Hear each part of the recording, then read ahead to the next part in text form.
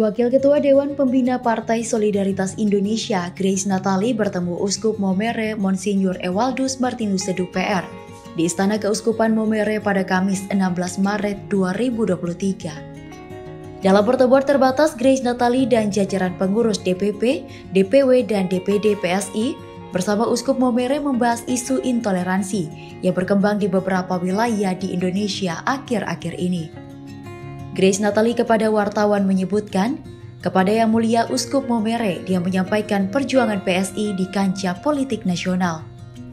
Saat ini kata Grace, wakil PSI yang menduduki jabatan Menteri ATR atau BPN gencar mengawal sertifikasi tanah sebuah rumah ibadah yang masih bermasalah.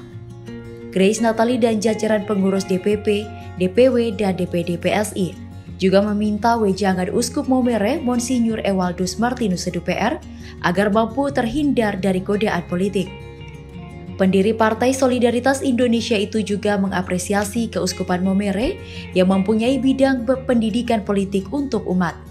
Sementara itu, Uskup Momere Monsinyur Ewaldus Martinus Sedu kepada wartawan menyampaikan, PSI merupakan salah satu partai yang kebanyakan anggotanya adalah orang muda dengan mengusung sebuah isu penting yakni isu toleransi.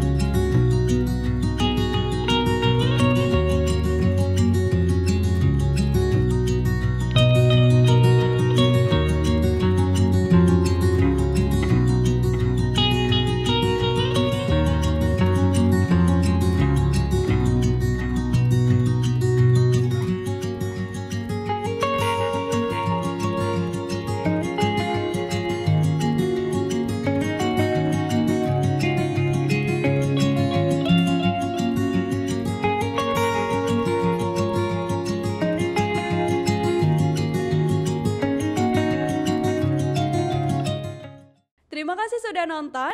Jangan lupa like, subscribe, dan share ya.